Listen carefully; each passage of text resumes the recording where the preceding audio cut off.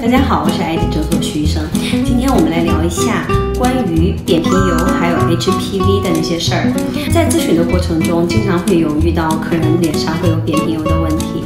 那扁平疣是什么呢？扁平疣它是一个肉状的凸起在脸上，它会稍微略高于你的皮肤，有的是条状的，有的是扁平的微微的凸起，有的是整个肉条状的凸起。在脖子上的话，多是显示为是条状的凸起。那大家可以看到，那扁平疣它是带有肉状的凸起，脂肪颗粒呢，我们可以看到它是一个比较规则的，在皮下有一点点圆圆的鼓起，但是你可以很明显的看到一个白色的点点。有的时候扁平疣会和我们的老年斑以及雀斑给混淆掉，雀斑般是不会有凸起的，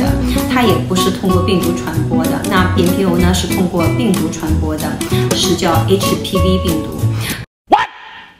那看到这里的话，大家又会问一个问题：什么是 HPV 病毒？它和我们所说的九价疫苗 Gardasil 9中的 HPV 病毒是有什么区别的？九价疫苗中的 Gardasil 9，它所防的那九种 HPV 病毒是导致性传染病的 HPV 病毒，而导致我们皮肤病的，像是我们扁平疣的 HPV 病毒呢，它是不通过性传播的，而是通过皮肤接触。那谈到这里的话，大家就有点害怕了，因为大家都知道，我们打九价疫苗的时候是为了防止宫颈癌的嘛。那这个导致我们脸上的和脖子上的扁平疣的这个 HPV 病毒是不导致任何的癌症的。那在这里可以跟大家解释一下，九价疫苗中的 HPV 病毒和我们现在讲的这个导致扁平疣脸上和脖子上的肉状凸起的扁平疣的 HPV 病毒呢，它们虽然是属于一个很大的家族的，但它们属于家族里边的不同的成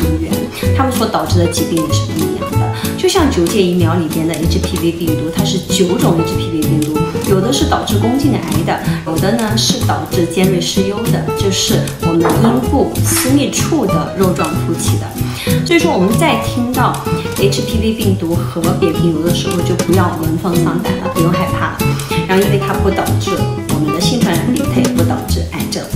那九价疫苗有必要打吗？我认为是非常有必要打的。你是为了防止宫颈癌以及